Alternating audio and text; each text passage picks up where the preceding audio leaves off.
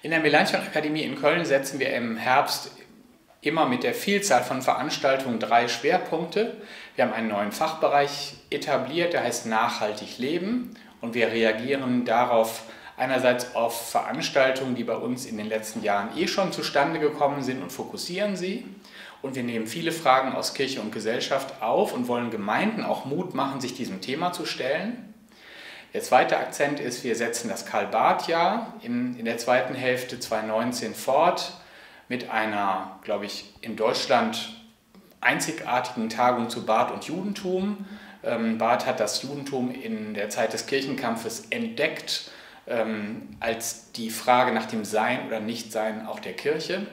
Und das bedeutet heute ähm, eine ganze Menge angesichts des neuen und alten Antisemitismus. Und wir beschäftigen uns mit ähm, der Wende 1989, die Deutschland und Europa ja ähm, massiv verändert hat und heute noch verändert. Und fragen mit Zeitzeugen, aber auch mit Menschen, die von Ost nach West und von West nach Ost gewandert sind, nach den großen Transformationen in unseren Kirchen, in unserer Gesellschaft, nach den Mentalitäten und nach den Fragen, die uns das heute stellt.